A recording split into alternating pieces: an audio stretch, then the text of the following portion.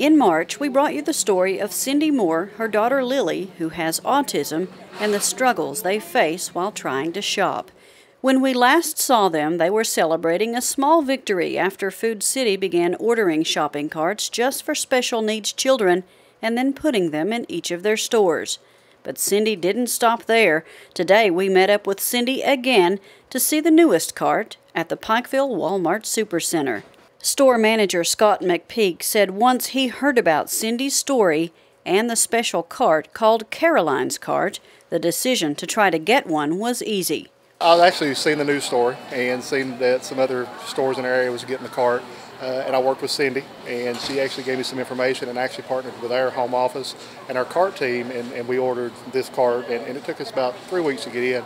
Cindy says as she continues to reach out to local stores about ordering the carts, She's finding out many store managers aren't even aware they exist.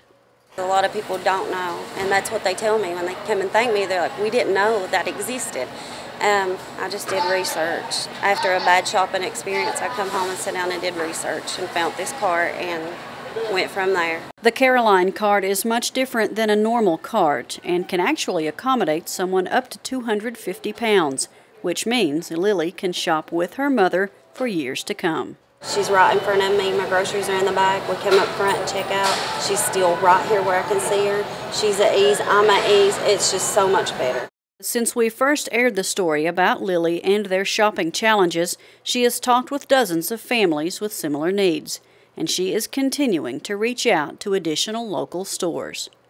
I'm actually trying to work with other companies right now to get them in other stores, and I'm hoping that they work with me and we'll be able to see more around in Pike County. Reporting in Pikeville for EKB News, I'm Shannon Deskins.